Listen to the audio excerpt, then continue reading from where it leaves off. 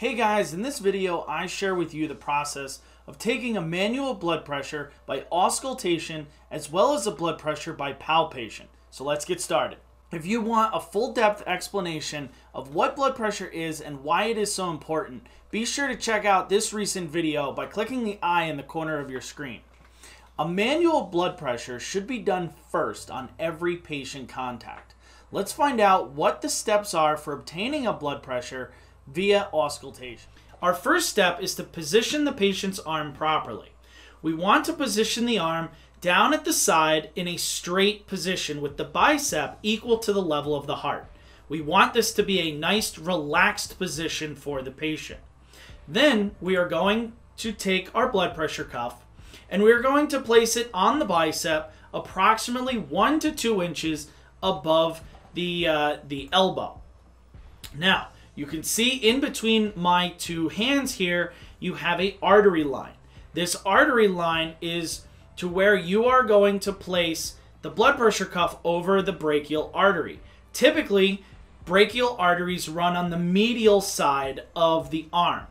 Some patients, however, have it on the lateral side. So if you position it on the medial side first and don't find the brachial artery, just note that you'll just have to slide the blood pressure cuff laterally so this line lines up with the brachial artery. Now, one, once you are securing the Velcro, we want to make sure that this cuff is nice and secured to the patient's arm.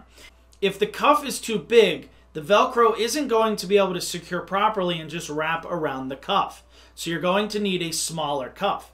If the cuff is too small for your patient's arm, that, that Velcro is going to be very tight to close, or it will start to pop off once you get uh, air into that blood pressure cuff. Both could lead to false blood pressure readings. So we want to make sure that we're positioning the right appropriate size cuff to the patient's arm. Now, once you have this secure, you're going to move all your tubing out of the way and you're going to palpate the brachial artery. We're going to find and palpate this brachial artery so we know where to put the uh, stethoscope when we're auscultating a pressure.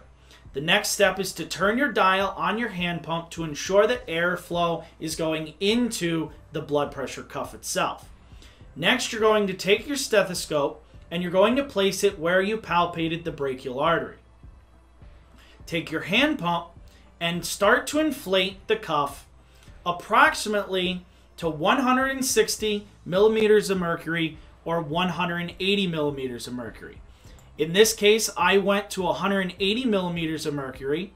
If you start to hear a thud, a thump, thump, thump, as soon as you begin to release pressure from that uh, air valve, now you know you have to go higher than 180. If you start to hear silence, just keep waiting and you will start to hear what you're looking for.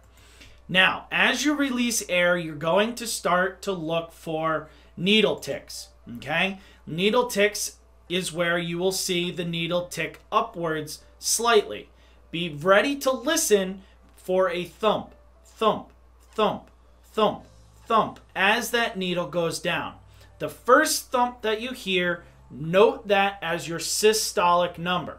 The last thump, or when the thumps become very muffled, is going to be your systolic number. So on this patient, as, after we auscultated uh, this blood pressure, it came back as 96 over 50.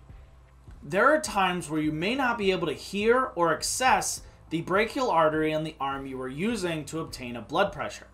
These are the times where you can use the blood pressure by palpation method. Bear in mind though that this method does not produce a diastolic reading hence your blood pressure is incomplete. So revert back to auscultation as soon as you're able to, ensuring you get a complete systolic and diastolic blood pressure reading. Here's the process of obtaining a blood pressure by palpation. The first thing that we need to do is position our patient's arm correctly. We're going to still place it at the side, nice and straight and relaxed, with the bicep equal to the level of the heart. Then we're going to place our blood pressure cuff the exact same fashion that we would when we auscultate a blood pressure. Next, we are going to take the lower arm and we are going to palpate for a radial pulse. Once we have found a strong present radial pulse, we are then going to twist our airflow knob on our uh, on our hand pump to make sure that airflow is going into the blood pressure cuff.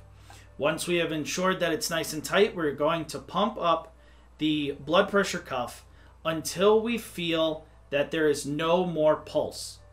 Then we are going to slowly let air out of the cuff and you're palpating until when you feel a pulse. The beginning of when you feel a pulse again is the number that you are going to record for your uh, palpated blood pressure. Remember that there is no diastolic for palpable blood pressures. You will get in this instant, in this instance for this patient, we got 96 by palp. Well, guys, that's it for today's video. Stay safe out there, and I will see you in the next video.